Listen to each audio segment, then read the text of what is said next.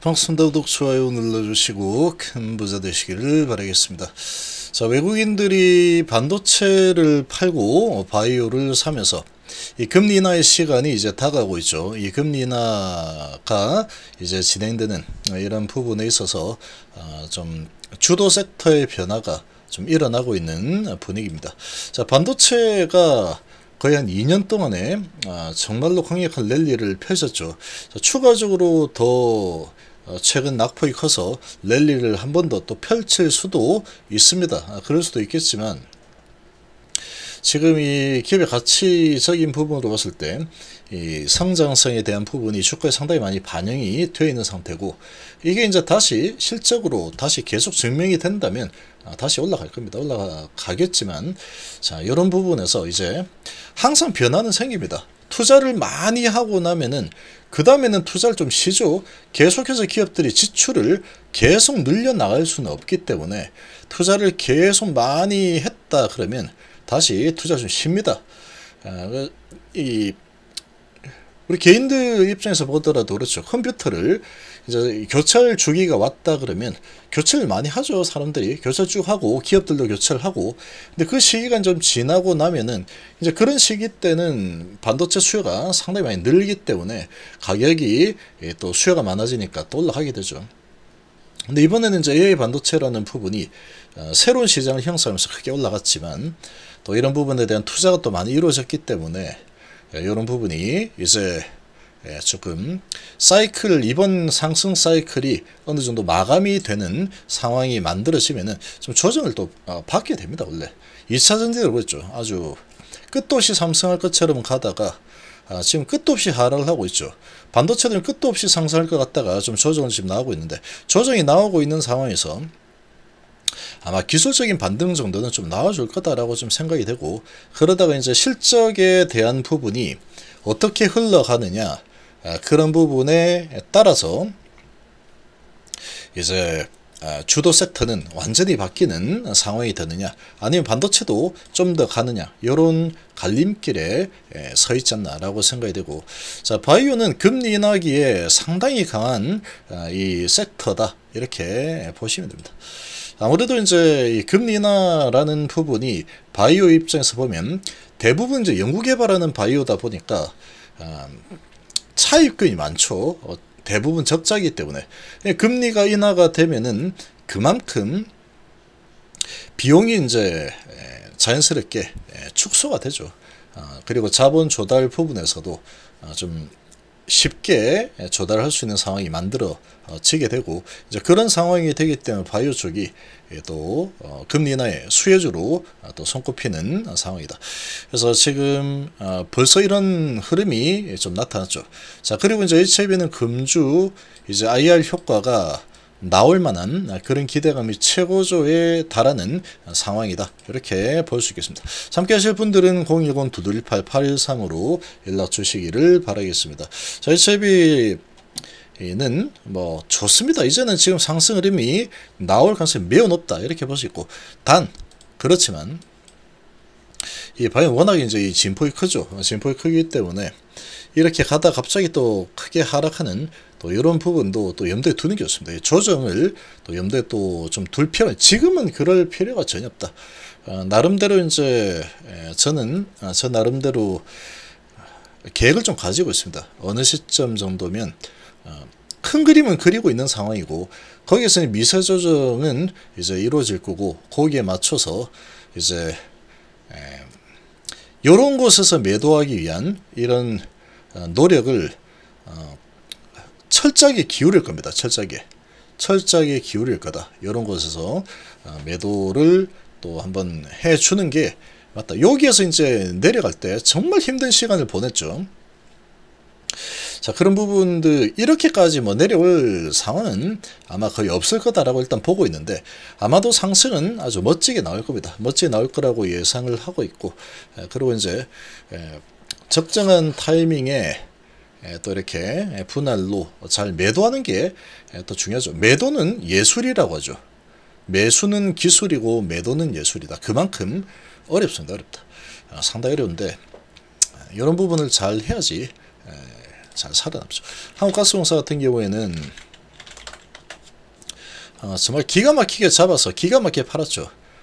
어, 거의 최정상에서 최고점에서 매도를 했고 여기서부터 이제 조금 매도하실 분들 조금씩만 매도하세요 하고 여기서 다 터세요. 한 번 더 수익을 냈고 여기서 들어가서 한 번 더 먹고 그 다음부터 여기서 이제 큰 눈들이 나오면서 매도 매도 매도 매도를 계속해서 외쳐 어, 어, 됐는데 결국 이제 잘 맞아 떨어졌습니다. 아, 그리고 이제 다시 매집을 하면 되기 때문에 실컷 내려오고 나면 다시 매집을 하면 되죠.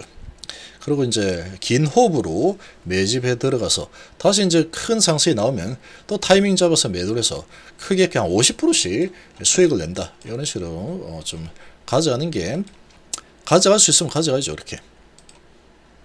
지금 HB는 많이 조정을 하고 이제 다시 예, 스토리가 좋기 때문에 이 스토리를 가지고 밀고 올라간 흐름이 예, 나올 수밖에 없을 거다. 아, 저는 그렇게 예, 보고 있습니다. 그래서 지금 자 이런 소식이 나왔는데 살까 팔까 해서 이제 바이오의 시간인가 한 달 수익 1위가 바이오더라.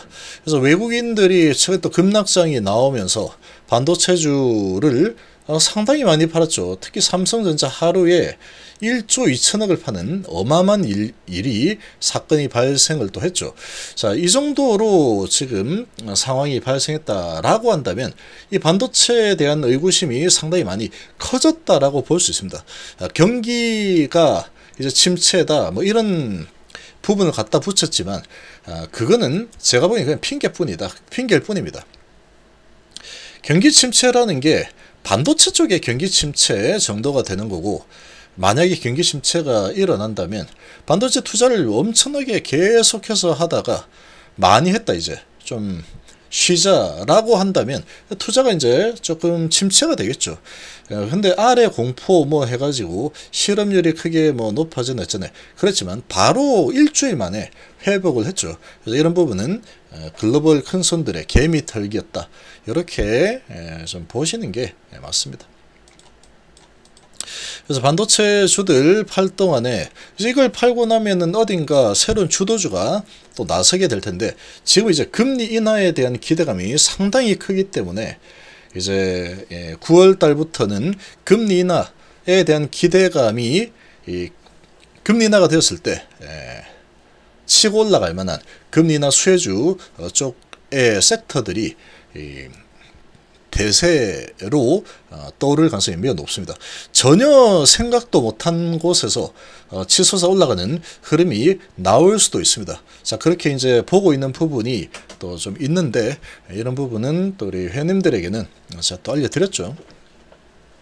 자 그리고 바이오도 좋습니다. 바이오도 그래서 금리 하락 맞아서 새 성장기 또 코스닥 바이오 중장기 방향성 우려가 있다. 뭐 이렇게 좀 나오는데 자, 국내 증시 변동성이 커졌지만 바이오주는 최근 한 달간 가장 높은 수익률을 기록한 것으로 나타났다.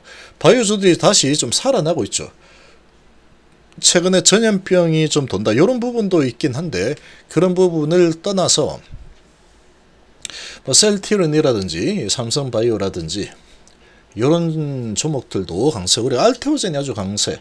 그리고 HIB도 한번 크게 출렁였지만 다시 강세 흐름을 또 보여주고 있죠. 그래서 한 달 동안에 가장 높은 수익률을 기록한 것은 바이오다. 헬스케어 지수가 한 달 전 대비해서 4.75%가 올랐으니까 엄청나게 강력했던 겁니다. 증시가 정말 내리 꽂았죠. 특히 이제 전기전자, 반도체, 또 2000지까지 해서 그야말로 내리꽂은 아, 증시 흐름이었는데 바이오 쪽이 정말로 강하게 잘 버티는 모습을 보여줬다. 그래서 해당 지수는 삼성바이오, 셀티알터젠, HB 등 국내 바이오 관련 상위 기업으로 구성이 되어 있는 종목들인데 상당히 수익률이 좋았습니다.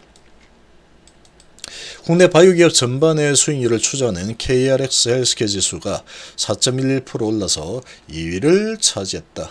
바이오가 완전히 뭐 어, 최상위권에 올라섰죠. 이들을 제외한 다른 지수들은 같은 게 모두 하락을 했죠. 경기 침체 우려, 미국의 경기 침체 우려와 엔캐리 트레이드 청산으로 증시 변동성이 아주 커지면서 어, 매도세가 엄청나게 많이 나왔는데 에, 그러나 바이오 쪽은 오히려 강한 모습을 보였다. 이런 소식이 났죠. 거기다가 이제 어, 전염병 재확산 이런 부분도 어, 다른 전염병 관련 바이오주들 어, HLB도 있죠. HLB도 어, 테라피틱스가 아, 백신 국내 에, 독점 계약을 체결한 또 그런 어, 기업이다 보니까 어, 수혜를 어, 입는 상황이다. 이렇게 볼 수 있습니다. 그래서 전 AI 수익성 둔화에 대한 회의적인 관측이 나타나면서 기존 주도주 였던 바이오주가 아주 급락을 하자 바이오 아, 반도체 급락을 하면서 바이오 쪽으로 이 투자 대안으로 다시 부각이 되고 있는 상황이다. 최근 한 달간에 반도체 지수가 23%나 급락했습니다. 23%. 23% 급락하는 동안에 바이오가 4.3% 정도 올랐죠. 그러니까 지금 어, 상당히 의미 있는 그런 어, 지수가 나오고 있는 겁니다. 주도 섹터의 변화가 좀 일어나고 있는 상황이다 이렇게 봐야 되겠죠. 어, 지금 이제 반도체가 2년 동안에 주가가 정말 많이 올라섰기 때문에 이 외인 기관들 메이저들이 어, 보통 이제 얘들은 박수 칠 때 떠납니다. 박수 칠 때. 계속해서 쭉 올리다가 언제 박수 치는지는 우리는 알 수 없죠.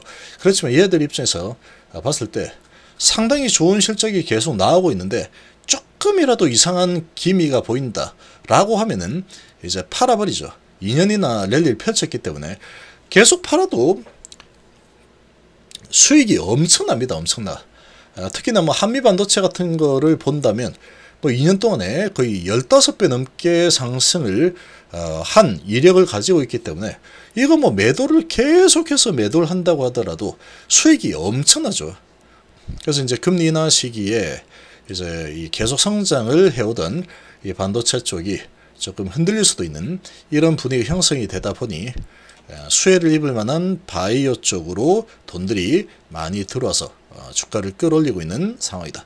자, HLB 입장에서는 어, 상당히 좋은 분위기가 아, 형성되고 있다라고 어, 또볼 수가 있겠죠.